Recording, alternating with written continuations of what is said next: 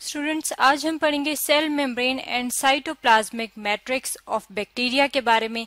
Bacteria क्या है? Bacteria एक प्रोकैरियोट है हमारे सामने। अगर हम अपने सामने ये डायग्राम देखें तो ये डायग्राम जो है, ये एक बैक्टीरिया की डायग्राम है और बैक्टीरिया क्या है? एक प्रोकैरियोट है। यानी कि इसके अंदर जो इसका हेरिडिटी मटीरियल होता है, वो मेम्ब्रेन बाउंडेड नहीं होता। यहाँ पे अगर आप देख सकते हैं इस डायग्राम में, ये जो है, ये जो क्या चीज़ दिखाई गई है, ये इसका न्यूक्लियोइड है। यानी कि ये इसका हेरिडिटी मटीरियल मटेरियल है और ये मेम्ब्रेन इसके इर्द गिर्द नहीं है। ये क्या है? ये एक प्रोकैरियोट का फीचर है और ये कौन सा प्रोकैरियोट है? ये है बैक्टीरिया का।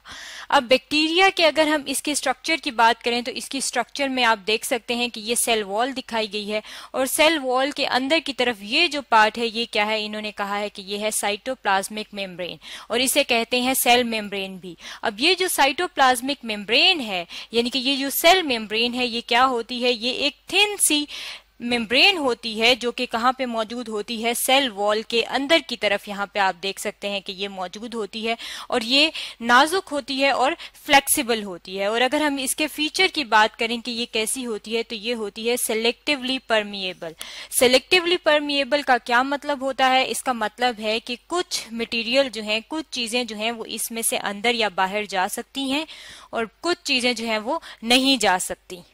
इस वजह से इसे कहा जाता है कि ये क्या है? ये है सेलेक्टिव परमिएबल इसके अलावा ये जो इसकी साइटोप्लाज्मिक मेम्ब्रेन है, यानी कि ये जो सेल मेम्ब्रेन है, इसके अंदर और क्या चीज़ें मौजूद होती हैं? इसके अंदर मौजूद होते हैं मुख्तलिफ़ इंजाइम्स इंजाइम्स क्या है? इंजाइम्स वो चीज़ें होती हैं जो कि इनके अंदर जो भी प्रोसेस हो रहा होता है, उसकी रफ्तार को बढ़ाते हैं। यानी कि इसके बैक्टीरिया का जो प्रोसेस को बढ़ाने के लिए इंजाइम्स होंगे, वो कहाँ पे मौजूद होंगे? वो मौजूद होंगे यहाँ पे इस एरिया में। इसकी साइटोप्लाज्मिक साइटोप्लाज्मिक मेम्ब्रेन में। इसलिए हम कह सकते हैं कि ये जो इसका फीचर है, ये किससे मिलता जुलता है? ये मिलता जुलता है यूक्रियोट से। यूक्रियोट्स वो होते हैं जिनके सेल में ये जो इनका न्यूक्लियस होता है, उनके बाहर एक मेम्ब्रेन मौजूद होती है। जिस तरह प्लांट सेल है या एनिमल सेल है, ये यूक्रियोट्स हैं और यूक्रियोट्स के अंदर एक ऑर्गेनली होती है उनकी, जिन्हें कहता है, जिन्हें कहा जाता है कि ये क्या है? माइटोकॉन्ड्रिया अब ये जो माइटोकॉन्ड्रिया है, इसके इर्द गिर्द भी मेम्ब्रेन मौजूद होती है और ये मेम्ब्रेन जो है, यहाँ पे एंजाइम्स जो मौजूद होते हैं। इसलिए हम कह सकते हैं कि ये जो सेल मेम्ब्रेन है बैक्टीरिया की, ये बिल्कुल माइटोकॉन्ड्रिया की मेम्ब्रेन की तरह है, क्योंकि माइटोकॉन्ड्रिया की मेम्ब्रेन में भी एंजाइम्स मौजूद होते हैं, जो कि फ़ंक्शन करते हैं यूकरियोट के सेल के अंदर। अब अगर हम इसी सेल मेम्ब्रेन की स्ट्रक्चर देख लें कि ये किस चीज़ से मिलके बना होता है तो हम अपने सामने जो है ये एक डायग्राम रख लेते हैं। और अगर हम इसकी सेल मेम्ब्रेन की बात करें तो ये सेल मेम्ब्रेन जो बैक्टीरिया की है, ये बिल्कुल उसी तरह से होती है जिस तरह यूक्रियोट्स की मेम्ब्रेन होती है। यानी कि उनकी जो सेल मेम्ब्रेन है, वो जिस तरह की होती है, बिल्कुल उसी तरह की बैक्टीरिया की भी होती है। और उनकी किस तरह की होती है, उनके में जो है ये फैट्स मौजूद होते हैं और लिपिड्स मौजूद होते हैं और फॉस्फोलिपिड मॉलिक्यूल मौजूद होते हैं। यानी कि लिपिड जो है, उसकी लेयर मौजूद होती होती है और हम कहते हैं कि इसके अंदर ये जो बैक्टीरिया है, इसके अंदर भी लिपिड्स जो है वो मौजूद होते हैं। यानी कि लिपिड्स जो है, उनसे मिलके ये सेल मेम्ब्रेन बनी होती है। अब ये जो सेल मेम्ब्रेन है, अक्सर ऐसा होता है कि ये बैक्टीरिया के अंदर वेजिकल बना लेती है। यानी कि सर्कुलर सी एक स्ट्रक्चर बना देगी और वो जो सर्कुलर सी एक स्ट्रक्चर होगी, हम उसे कहेंगे कि ये क्या है? ये है मीजोजोम्स अगर हम अपने सामने ये डायग्राम देखें तो ये जो डायग्राम है, इसमें आप यहाँ पे देख सकते हैं कि ये जो एक येलो सा पार्ट है, इन्होंने इसको सर्कुलर कर दिया है।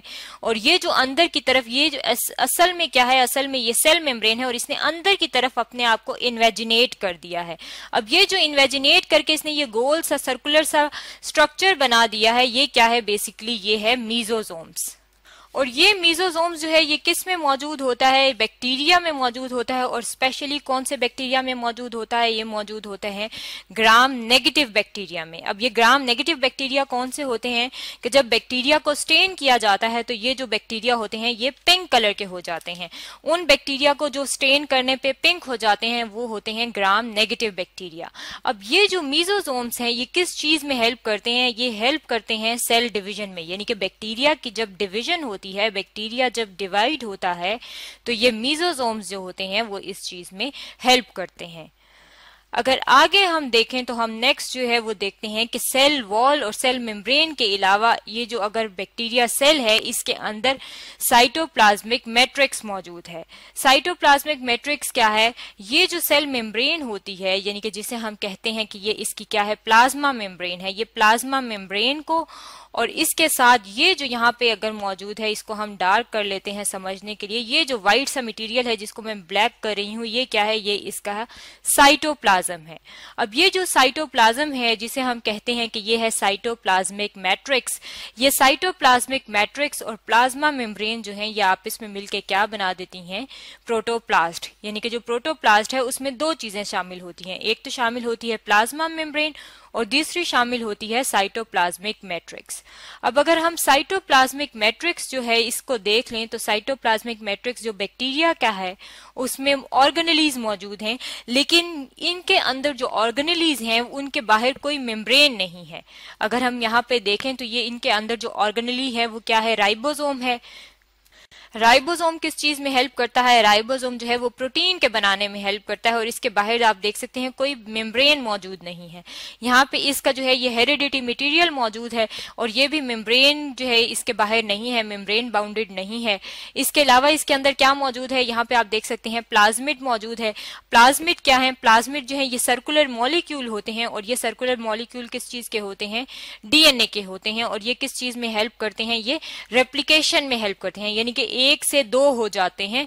ये जो साइटोप्लाज्मिक मैट्रिक है, जिसके अंदर इस बैक्टीरिया में कुछ चार, पाँच ऑर्गेनलीज हैं राइबोसोम्स है प्लाज्मिट है डीएनए है, ये क्या बनाते हैं? ये इसका बनाते हैं साइटोप्लाज्मिक मैट्रिक्स ये तो था प्लाज्मा मेम्ब्रेन और साइटोप्लाज्मिक मैट्रिक्स के बारे में, जो कि आज हमने स्टडी किया है।